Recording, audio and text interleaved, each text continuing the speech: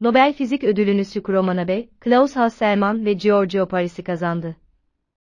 2021 Nobel Fizik Ödülünü, karmaşık fiziksel sistemleri anlamamıza çığır açan katkıları için, Sükrü Manabe, Klaus Hasselmann ve Giorgio Parisi kazandı. Anlık gelişmeler için lütfen abone olun. Express Haber, sundu.